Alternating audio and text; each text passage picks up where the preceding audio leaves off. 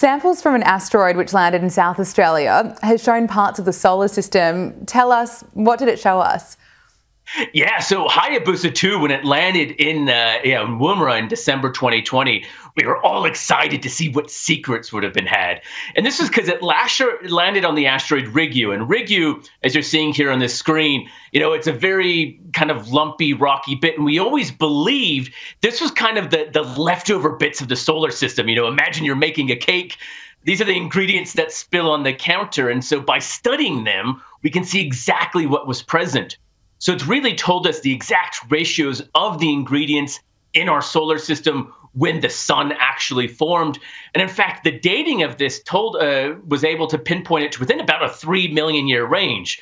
Now, given this happened 4.6 billion years ago, a 3 million accuracy is pretty spot on for figuring out when all this stuff was formed.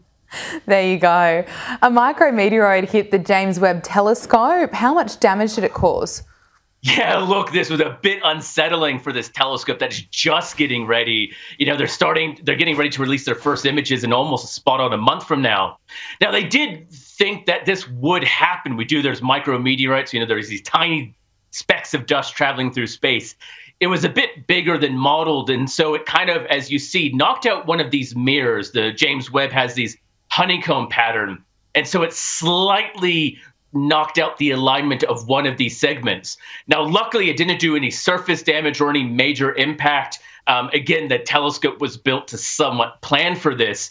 So they did have to do a little bit of extra work getting that segment back into line. So it doesn't appear to have set it back anytime soon, but not what you want when you're in the middle of getting this thing ready. Having this unexpected occurrence definitely um, unsettled some nerves, but it does appear to be okay. Absolutely. Bump in the road, bump out in space. Look, finally, Brad Tucker, three Chinese astronauts have arrived at the Tiangong space station to oversee the finishing of the building. How's it looking? Yeah, so they just arrived a few days ago, and so they have a busy six months. Um, so, in fact, what we're expecting is come um, uh, October or so, um, and maybe in August. It's a bit hard to say sometimes with the Chinese timelines because they're not very clear with it the next two main modules. They need to be three sections to complete the space station. They've already been working in the first one. So they have a busy six months essentially to set up the next two and then actually have a fully operational space station. China has set the deadline essentially for the end of the year. So given they have to launch two more modules, they have to install it, get them up and running, plus a bunch of other minor work. They have a really busy six months. So this is probably the quietest period they're going to have until the end of the year. Okay, Brad Tucker, we have to leave it there. Thanks so much for your time this afternoon. Great to speak with you.